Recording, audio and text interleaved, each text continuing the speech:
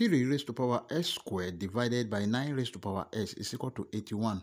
Hi everyone, welcome to my class. In this class, we want to find the value of s from this nice equation. But before we proceed, please don't forget to like, share, comment, and subscribe. Solution.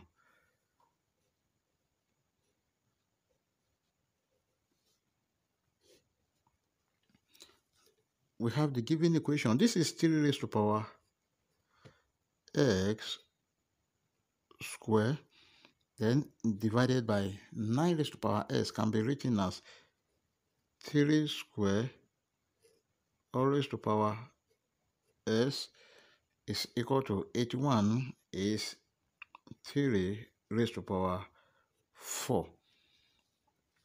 Then remember this exponential rule that a raised to power n raised to power m is equal to a raised to power n m. This is 3 raised to power s square divided by 3 raised to power 2s is equal to 3 raised to power 4. Then the, this can be written as 3 raised to power s square minus 2s is equal to 3 raised to the power of 4 and they have the same base 3 so this is s square minus 2s is equal to 4 now let's bring this 4 to this side. This is s square minus 2x minus 4 is equal to 0. This is a quadratic equation which can be solved using quadratic general formula. Now, and our quadratic general formula is giving us s is equal to minus b plus or minus square root of b square minus 4ac divided by 2a. Now from this equation, a is equal to 1, b is equal to minus 2, c is equal to minus 4. Let's substitute. We have s is equal to minus into minus 2 plus or minus square root of minus 2 square minus 4 multiply by 1 then multiply by minus 4 divided by 2 multiply by 1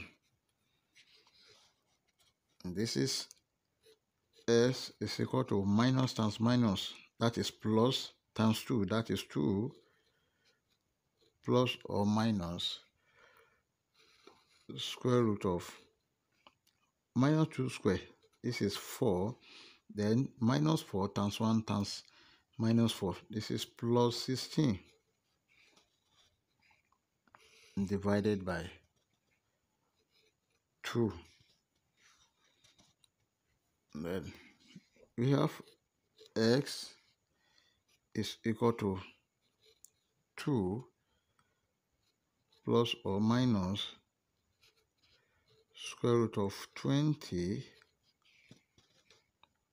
divided by 2 x is equal to 2 plus or minus square root of 4 multiplied by 5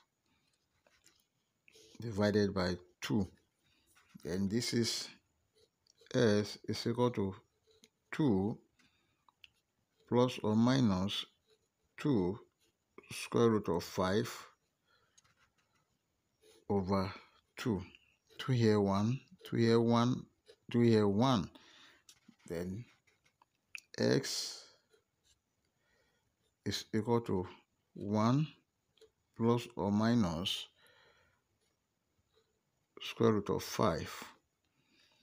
And our final answer are s is equal to 1 plus root 5 or s is equal to 1 minus root 5. Let's call this s1 and x2. That is our final answer. If you enjoy the class, please don't forget to like, share, comment, subscribe, and see you in the next video. Thank you.